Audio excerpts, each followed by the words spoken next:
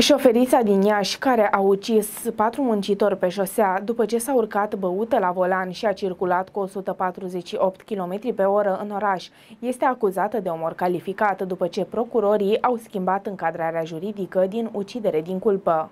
Conform Observator News, procurorii au schimbat încadrarea juridică în cazul șoferiței care a ucis patru muncitori care lucrau pe o șosea din Iași în noaptea de 16 spre 17 iunie, iar acum în loc de ucidere din culpă, femeia de 38 de ani este cercetată pentru omor calificat. Dosarul a fost trimis către parchetul de pe lângă Tribunalul Iași, iar joi 11 august judecătorii vor decide dacă vor prelungi perioada de arest preventiv. Avocatul Adrian Cuculiș, care reprezintă cele patru familii ale victimei, victimelor anunță pași către normalitate și o posibilă schimbare de paradigmă în materie de accidente auto. Pași către normalitate și o posibilă schimbare de paradigmă în materie de accidente auto, șoferița din Iași care a omorât patru muncitori aflați la lucru este acuzată de omor calificat prin ordonanță de schimbare a încadrării juridice a faptei. Reamintim că accidentul a avut loc în noaptea de 16 spre 17 iunie. Tragedia s-a petrecut pe șoseaua Păcurari în jurul orei 1. După ce a băut bine, femeia Femeia s-a urcat la volan, a pierdut controlul direcției într-o curbă și a intrat în plin într-o echipă de muncitori care săpau un canal în apropiere. Impactul a fost devastator, întreaga scenă fiind surprinsă de o cameră de supraveghere amplasată în zonă. Pe imagini se vede cum autoturismul scăpat de sub control ajunge pe trotuar și lovește un gard, după care este proiectată spre șosea, unde îi spulberă pur și simplu pe muncitori. Patru oameni au murit pe loc, alți trei au ajuns în stare gravă la spital. Raportul de expertiză a arătat că șoferii Poliția circula cu 148 de km pe oră în oraș în momentul impactului, iar alcoolemia era de 1,13 la mie, relatează observatornews.ro.